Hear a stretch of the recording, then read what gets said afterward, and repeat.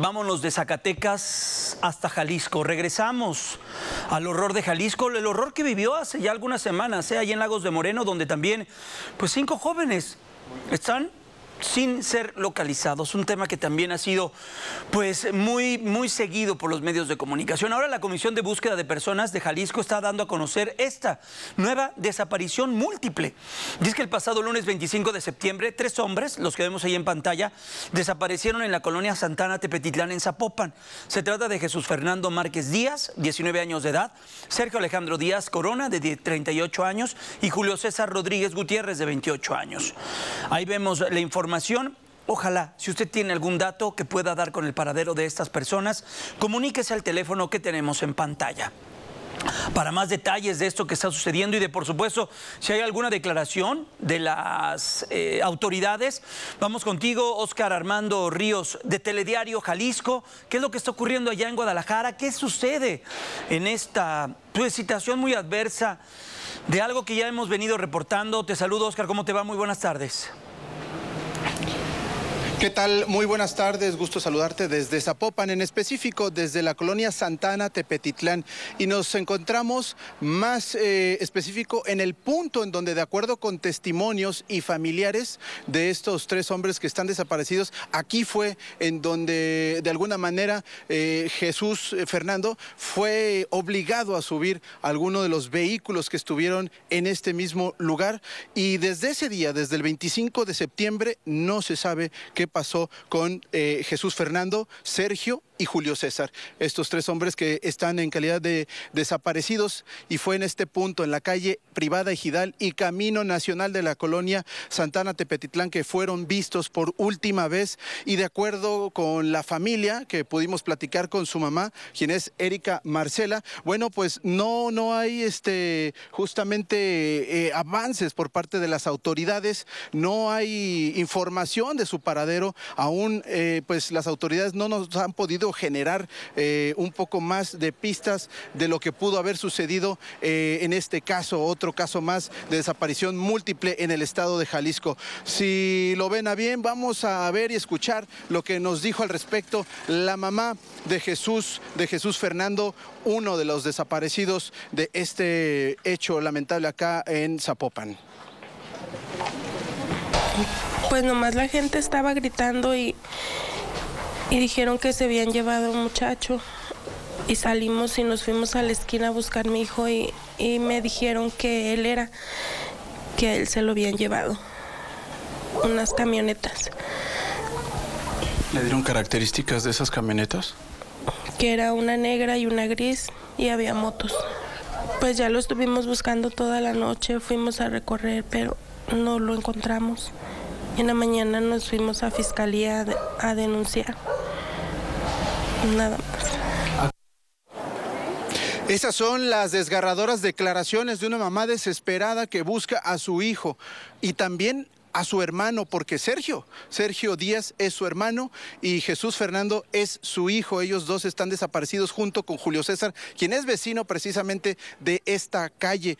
Eh, hasta el momento, insistir que no hay avance en las investigaciones y Jesús Fernando tiene una hija de un año que los están esperando en casa para poder llegar.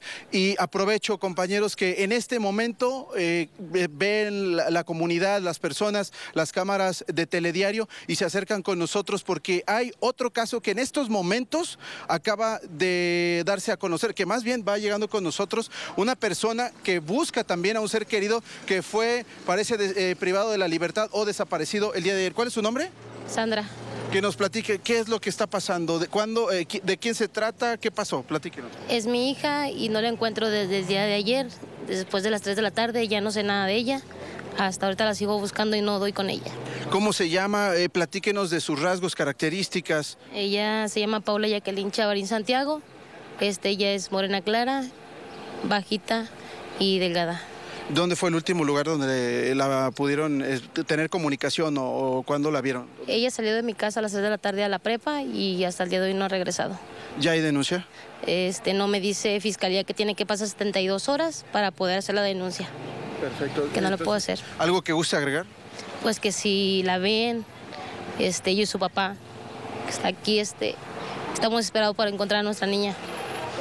Estamos, estamos en comunicación con usted y ahorita intercambiamos información para darle seguimiento. Bien, compañeros, es la situación en Zapopan, específico aquí en Santana, Tepetitlán y en Jalisco. Es una crisis de desaparecidos, uno de los principales problemas que aquejan a nuestro estado. Es la situación al momento. Compañeros, regresamos cámaras y micrófonos al estudio. Híjole, Oscar, pues qué, qué tremendo, ¿eh? Lo que nos decías que está viviendo primero Erika Marisela Díaz, la mamá de Jesús, que tiene una tragedia doble, porque si entendí bien, está sin ser localizado su hermano y su propio hijo. ¿Esto, esto es así? ¿Así lo entendí, eh, Oscar? Creo que ya no tengo contacto con Oscar. Vamos a recuperar la, la llamada. No, se le cortó. Vamos, vamos a recuperar porque quiero, quiero aclarar esto con, con Oscar Armando, nuestro compañero corresponsal de Telediario allá en el estado de Jalisco, en Guadalajara, de Telediario. Eh, pues sí, es una tragedia lo que está viviendo Jalisco particularmente en cuestión de desapariciones es eh, tremendo. Y hoy lo que pues más duele es que las personas que no están siendo localizadas en muchos de los casos son jóvenes. Los jóvenes están pues expuestos ante pues las bandas criminales. Oscar Armando, eh, eh, perdimos ahí momentáneamente tu la comunicación. Te pregunto, Erika Marisela Díaz, la mamá, es de Jesús Fernando y hermana también de otra persona que está extraviada, ¿verdad? Exactamente, son dos seres queridos que a los cuales no han sido localizados, están en calidad de desaparecidos y es el tormento por el que están pasando los familiares de Jesús Fernando y de Sergio Díaz. Y además, lo que nos decías, que Jesús Fernando tiene una pequeñita de un año. O sea, hay, hay tragedia sobre correcto. tragedia. Eh, Oscar, esto, esto, es, esto es terrible, esto es un infierno que viven estas familias. Completamente de acuerdo y es que cuando hay un ser querido desaparecido, además de lo que pueda estar pasando la persona no localizada, por supuesto es un lastre y una agonía en vida el no saber qué está pasando con eh, su ser querido. Justamente es lo que nos decía la mamá de Jesús Fernando.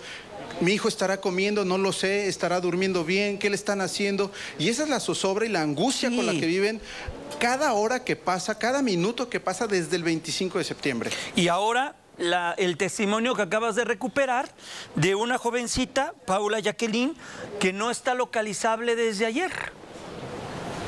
¿Qué cosa? Es correcto.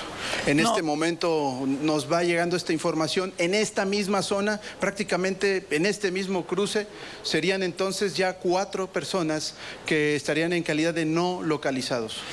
Híjole, Oscar, eh, esta misma semana, estos días, eh, vimos, seguramente tú atendiste esta información de lo que ocurre con el crimen organizado y que se convierte en el quinto empleador de todo lo que económicamente se trata en este país, por encima de empresas muy importantes y marcas muy reconocidas y por debajo de marcas y empresas muy reconocidas, el crimen organizado estadísticamente hablando, un análisis que hicieron matemáticos, ahí utilizando varias fórmulas, dieron esto, 175 mil personas dependen del crimen organizado.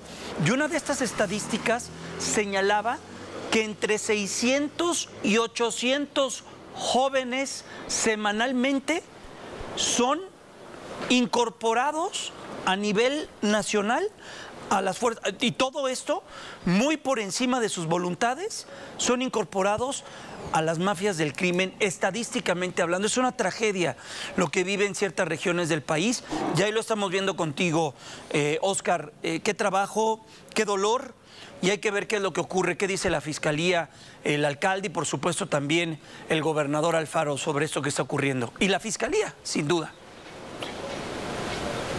Claro que sí, estaremos pendientes, ya que sí es un tema complejo por el que está atravesando el Estado en, este, en esta situación de los desaparecidos. Y por supuesto, nosotros seguiremos pendientes y dándole atención a todos estos casos. Gracias, Oscar. Vamos a estar muy atentos a lo que sucede y por supuesto, si hay alguna información eh, que quieras añadir, de inmediato vamos contigo de regreso hasta Jalisco. Fuerte abrazo, cuídate mucho y estamos en contacto.